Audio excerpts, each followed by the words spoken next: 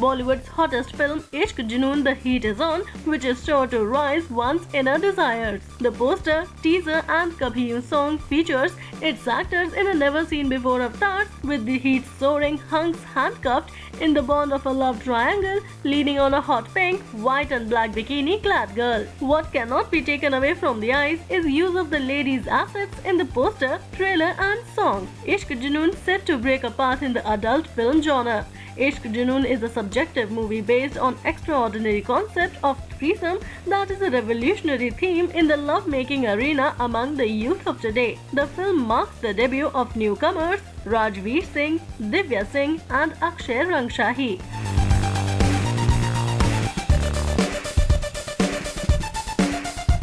Well, thanks for watching this video. Now hit the like button and subscribe our channel to watch more.